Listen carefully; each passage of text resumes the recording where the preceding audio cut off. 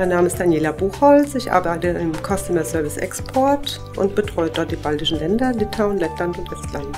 Mein Arbeitstag fängt morgens zwischen 7 und 8 Uhr an. Die Arbeitszeit ist flexibel, deshalb kann ich mir das ganz gut einteilen. Ja, die Kunden schicken Aufträge, meist per E-Mail. Die Auftragseingabe wird von mir begleitet bis hin zum Versand. Der komplette Prozess, dazu gehören auch Reklamationsbearbeitung, Lieferverfolgung, Kreditprüfung, alles rund um Auftragseingabe und Abwicklung.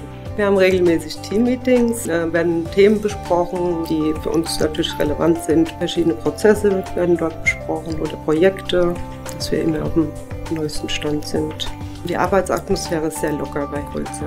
Wir haben ein sehr gutes, lockeres Verhältnis. Wir sind ja, ein eingespieltes Team und können uns auch aufeinander verlassen. Bei Kulza zu arbeiten bedeutet für mich sehr viel. Ich bin 26 Jahre dabei und ähm, bin mit Kulza gewachsen über die Jahre hinweg. Ich habe viel gelernt und viel mitgenommen.